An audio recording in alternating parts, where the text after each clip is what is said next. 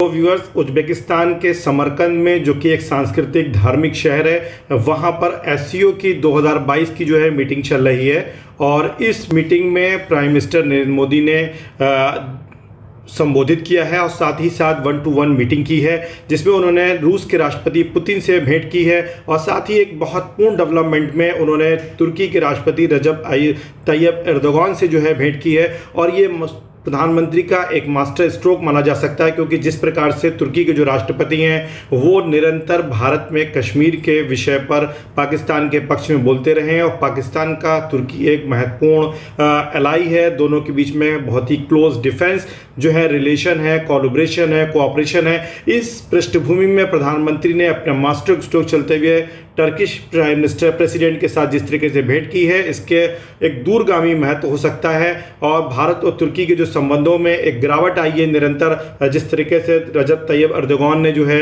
लगातार कश्मीर के ऊपर पाकिस्तान का साथ दिया है।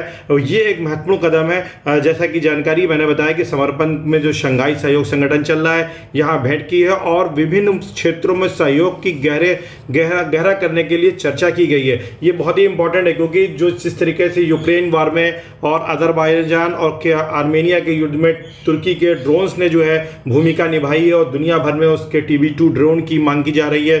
अभी हाल ही में वहाँ के टीवी टू ड्रोन की बनाने वाली जो कंपनी है, उसने कहा था कि भारत उनके मार्केट टारगेट एरिया में नहीं है। तो अगर इस पृष्ठभूमि में देखें तो तुर्की के राष्ट्रपति से प्रधानमंत्री का मिलना और गहरे तरीके से सहयोग पर चर्चा करना एक महत्वपूर्ण और दूरगामी प्रभाव वाला निर्णय हो सकता है। क्योंकि तुर्की जो है, पाकिस्तान का एक करीबी राष्ट्र रहा और बार बार संयुक्त राष्ट्र महासभा में जो है, तुर्की ने कश्मीर के मुद्दे का जो है उल्लेख किया है। प्रधानमंत्री नरेंद्र मोदी जी ने इसे एक ट्वीट के माध्यम से इस पूरी मुलाकात को जो है साझा किया है देश के साथ और विश्व के साथ।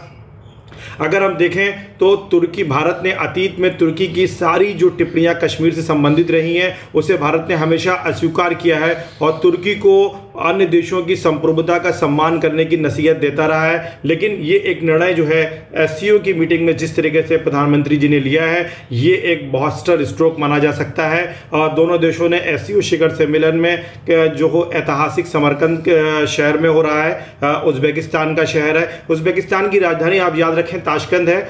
समरकंद नहीं है। दोनों नेताओं ने विभिन्न क्षेत्रों में द्विपक्षीय सहयोग को गहरा करने पर चर्चा की है और विदेश मंत्रालय के जो प्रवक्ता अरिंदम बागची जी हैं, उन्होंने इस चर्चा को दोनों नेताओं के बीच जो हुई है, बहुत ही उपयोगी और महत्वपूर्ण माना है।